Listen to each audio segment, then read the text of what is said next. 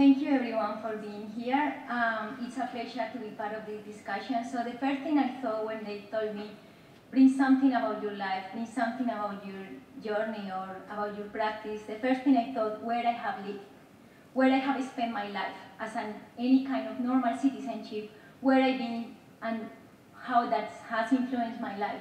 So from being from a place who actually the biggest landmark is the cathedral, where everyone knows each other, and those kind of very small urban settlements. I've been living like there for half of my life, and the rest of my life in being in cities like Bogota and Melbourne, with different scales, different problems, and different ideas about what is an active city, what is good and what is bad, what is important to address in a city that it has a small settlement, what do they feel is good design and no.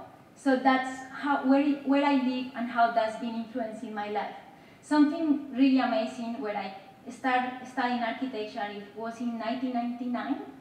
Um, it was very impressive how Bogota was. I went to Bogota to study architecture, and then the city was not, there was not much attention in the public space, but apparently something really amazing happened. There were two politicians that were unusual politicians that were giving a lot of attention to the cities, to the design and the public space. There was a mathematician, an academic, and an economist who actually gave a lot of power to design, and that how the city transformed was a lot of attention in public infrastructure, a lot of attention in community infrastructure, and that became very important for the economic growth. So it was very influential for my life as a young student, as a young architect, to then uh, realize that Colombia has something that not many countries have, and I think that's very valuable. Every public building has to be designed by a competition that is anonymous.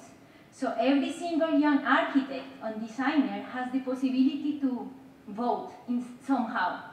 So with Marco, who is here today, we did this competition in 2008 after working for different offices, and we actually were so lucky to, to win that competition. So what we found important in these kind of things is these were for vulnerable communities, so people who has been displaced by different reasons. So there was neighborhood that actually were very informal neighborhood. There was not much infrastructure. So these schools were the hearts. How to connect a heart where there's nothing there. So that city, for example, has um, the most important part of the city or the cultural elements is the accordion. So we thought, okay, let's every single kid from the single kid from the very senior people are very connected to that instrument. So we took that instrument as an excuse to design something that connects to people. This year we went to visit the site and we went to see all these kids and interview them without telling them that we were designers. We were actually wanted to know what they think about the design and what they believe. And they actually explained the concept better than us. So it was really rewarding. Then we did another competition and we were again very lucky. We did we, we got this competition that really low budget projects, like 3 million for 6,000 square meters. So I, I know every people who has built something know how hard it is to build something like that. And again, we went to see what is important for this site, for these neighborhoods that so most of the settlements were very informal. So how people, it, it, was like people when they got money, the one room, then when they get a little bit more money, they, they do the second, the second floor and so on. So, and the mountains and the connection with the mountains. So we decided to kind of study the profile that the city has and then bring this to the design and the colors of the city and combine, that's something that we've been exploring, how to bring landscape and combine landscape with architecture. We don't believe in the way we practice that architecture is one thing, landscape is one other thing, urban design is something else, is everything is merged.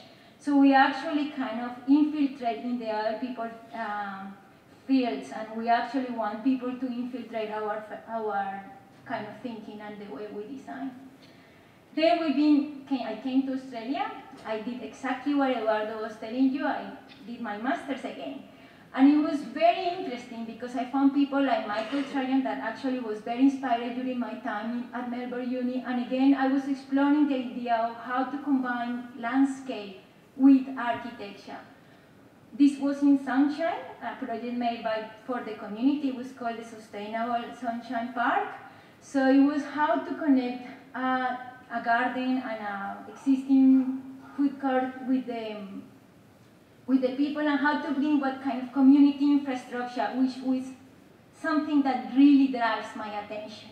How to bring landscape with architecture together and don't feel like this is one thing, this is another thing. We are actually always working in those two levels.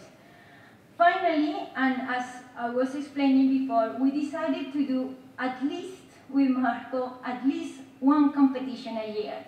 It's really demanding to do competitions, but we promised that since 2008, uh, we've been, this year we did two, and it's been like with, with sometimes collaborate with people, as Eduardo said, he already showed the other, I knew he will show it, so I didn't bring it to don't repeat the same information. So it's, it's like how to collaborate with others and continue voting somehow with the type of design you have.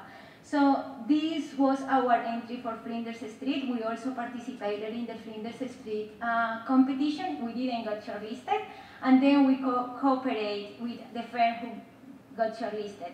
So it's been very interesting, a process that again, we were exploring that idea about how to combine landscape with architecture, what is urban design, how to combine with public infrastructure, and also ask other people questions about what do you think Flinders should have, and that's how the, all the designs come uh, in our in our practice. So we are very interested to continue doing this. I'm starting a PhD in contributive architecture.